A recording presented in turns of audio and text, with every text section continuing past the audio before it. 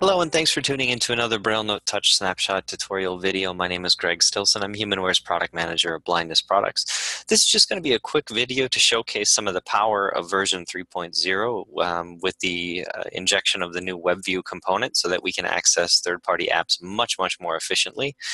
Um, so the app that we're going to showcase today is the Nest app. So I, uh, I have one of the, the Nest learning thermostats, which is connected to the internet in my house. I'm currently in my office right now. And I'm going to change my, uh, my thermostat from the internet here. So I'm going to go to my All Applications menu by pressing A.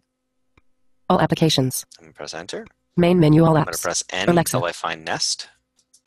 Nearby Explore Nest. Nearby Explorer Online. Nest. There's Nest, and I'll activate the Nest app. Nest. At this point, the Nest app is loading. And using Nest. Keysoft, Kitchen I can thermostat target navigate temperature this is 7. extremely efficiently. So I'm going to press K because I know that my uh, thermostat's in the kitchen. Kitchen thermostat target temperature is 70 Fahrenheit degrees button. It's pretty warm there. I'm not. I don't want it to be that warm, so I'm going to activate it. And we see that the page came up. Back button. I'm going to use my thumb keys to just show you what, what is there. So it says that it's in the kitchen. Settings. There's my settings. Kitchen the target temperature is 70 Fahrenheit degrees. The current temperature is 69 Fahrenheit degrees.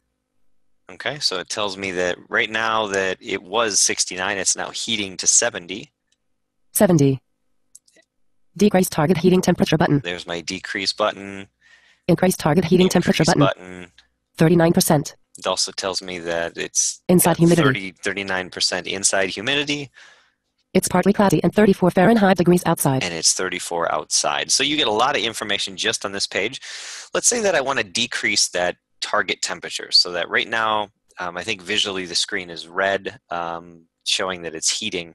But let's say that I want to bring it back down to 69. So I'm going to go back to the top, of the screen. Open Nest menu I don't know where that decrease target temperature button is, but I'm going to hit D Decrease target heating temperature button. and press enter.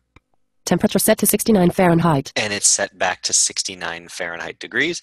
And at this point, very shortly in my house, it should stop uh, heating, recognizing that uh, it's either at or above the, the target temperature. So uh, that was just a quick video to show how Main simple it menu. is to Contact. navigate a third-party app like the Nest Learning Thermostat and how the BrailleNote Touch can be the centerpiece in you controlling the temperature in your home.